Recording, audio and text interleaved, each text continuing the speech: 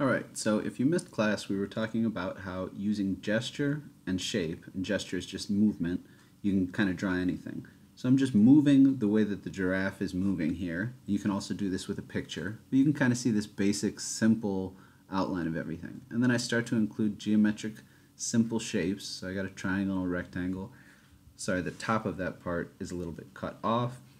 But as I move down, you can see I'm including all the other simple shapes that kind of form uh, the giraffe's body. So if there's like a little extra, I can overlap, I can draw on top of other things that I'm drawing. You don't have to think of this like putting puzzle pieces together.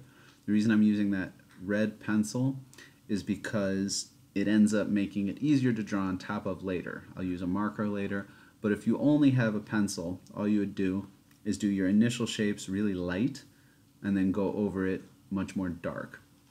So I've got some ovals, some circles, mostly rectangles, triangles, other shapes like that.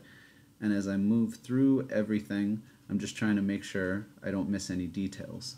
Now, because I'm only using this as a reference, I don't have to make the giraffe look like a giraffe if I want. I can kind of create it as another creature, but I still want to get that basic form of its body down. So I'm putting in its front legs, its hind legs, and as you can see, everything is just simple shapes.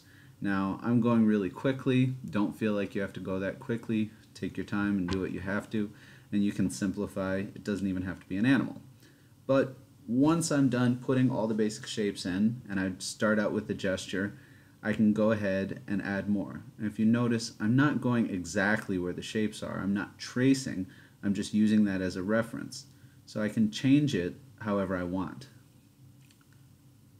And as I go in and finish, I might add, you know, all kinds of crazy details. Maybe this isn't going to be a giraffe. I'll put in some hot rod style flames to look like this animal's hair, so maybe it's a magical creature.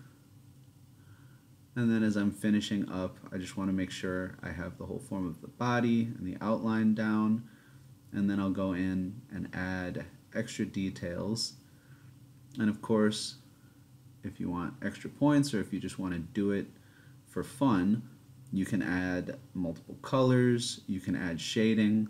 All we really need now is the basic breakdown of shape and movement. So when we say movement, remember we're not talking about a thing that is moving, we're just talking about how it moves together. How do your muscles, how do these animals' muscles move together to function? And once we have all that, I'll put in those final details of the face, make it a little bit cartoonish. And I'm adding some pattern just for fun. Kind of creating my own creature.